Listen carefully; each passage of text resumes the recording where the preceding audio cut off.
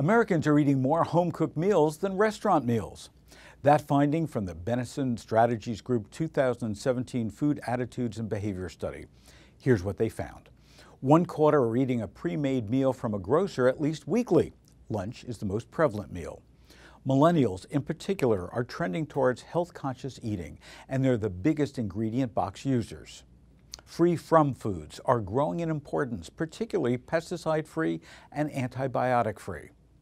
70% are okay with grocers using location-based technology if they ask for permission or alert them first.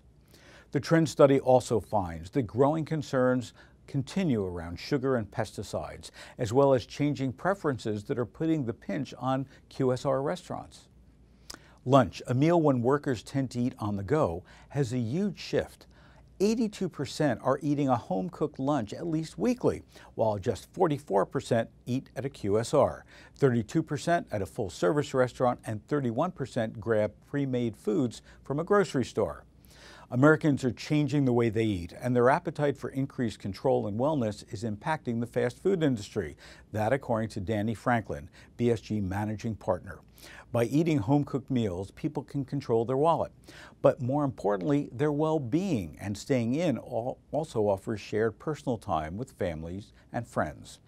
Step aside, millennials. Generation Z kids are embracing the role of chef frequently cooking with and for their families and perpetuating the trend of at home cooking.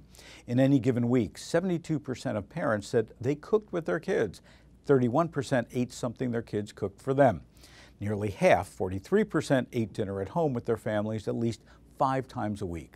While the report finds a desire for unmodified and free from foods is also leading many to cook for themselves. The study reveals that pesticide-free, antibiotic-free, hormone-free, and sugar-free ranked high on the list of important food attributes. One important lifestyle sign for change comes from BSG's finding that 38% of all consumers would be embarrassed if they were seen eating too much at a fast food chain. The numbers were highest among millennials. 50% said they'd be embarrassed. That's up from 44% over last year. Fast food, beware.